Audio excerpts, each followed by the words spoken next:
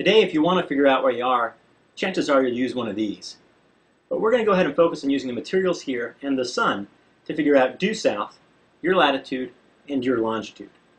Now keep in mind that our measurements of time are based on the apparent motion of the sun, the stars, and the moon. That means there's a lot of information packed into your watch. Take, for instance, the idea of noon. Before standardized time zones, noon was simply the time of day when the sun crossed an imaginary line connecting due north and due south, called the meridian. Let's look down on the Earth from the North Pole. Here in Somerville, noon occurs when the sun is due south. In Beijing, it's the same thing. Anyhow, at local noon in the northern hemisphere, the sun is due south. At midnight, it's half a world away. We could make a clock with an hour hand that went around once every 24 hours, but most hour hands go around twice a day. This means the hour hand moves twice as fast as the sun appears to.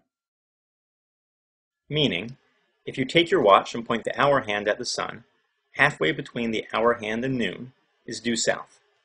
In the southern hemisphere, it's due north. So the next time you need to find south, just take your watch, hold it parallel to the ground, point your hour hand at the sun, and halfway between the hour hand and noon is due south. Now, that's if you're in the northern hemisphere.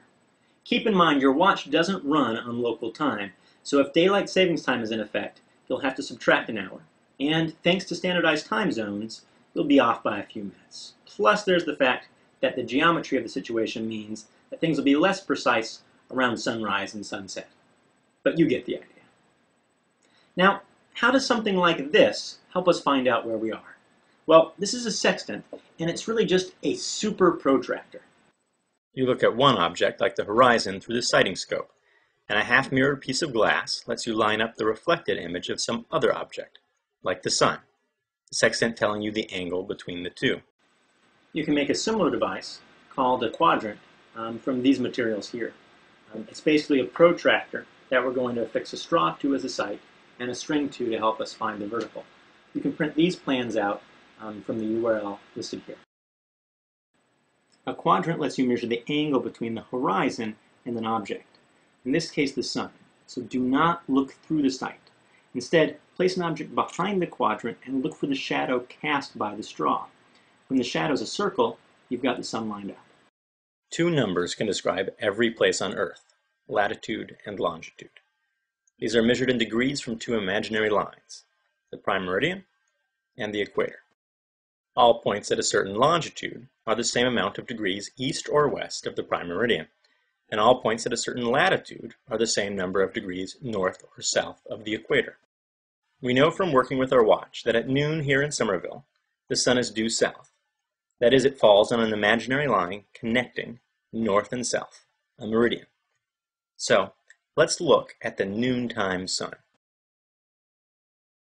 Keep in mind, the sun is really far away, so anyone pointing at the sun will point in the same direction. Knowing this, if the sun were directly above the equator, we could find our latitude by simply finding the angle between the sun and overhead. That is, 90 degrees minus whatever our quadrant reads. Unfortunately, the Sun doesn't stay directly over the equator. The Earth has a tilt in its axis, so over the year the Sun moves above or below the equator by roughly 23 degrees. This additional angle is called declination, and we simply add or subtract it from our measurements. Sailors used to produce books listing the sun's declination for every minute in the year, but today you can find this on the web. We know local noon is when the sun crosses the local meridian, and you've probably noticed that a meridian is also a line of longitude. So if you know when noon happened, you already know your longitude. All we have to do is convert our time to GMT, the local time at zero longitude. Every minute the sun covers a quarter of a degree, so if your noon took place 5 hours and 4 minutes after noon GMT, your longitude is 76 degrees west. 3 hours before GMT, 45 degrees east. Of course, we had to find local noon first. To do that, plot the midday measurements from your quadrant against your watch time. They'll make a curve, and at the top of that curve is local noon. I'm David Colarusso for the Tabletop Explainer.